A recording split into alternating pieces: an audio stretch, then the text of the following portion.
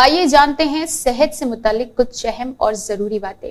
एक नई तहकीक में पाया गया है कि रात के वक्त ज़्यादा रोशनी मुतासरा शख्स में अल्जाइमर का खतरा बढ़ा सकती है।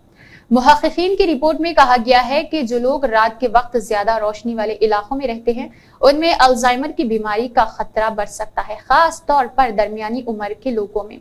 मुहक्कीन ने जरीद साइंस रोशनी में बताया है कि पैंसठ साल और इससे ज़्यादा उम्र के लोगों में अल्जाइमर की बीमारी से ज़्यादा मजबूती से मुंसलिक है।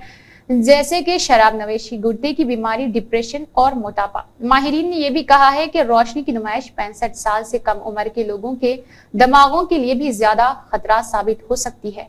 मुताले के लिए मुहक्कीन ने अड़तालीस बरआजमी रियासतों में ज़्यादा रोशन खितों का तजुर्बा किया है।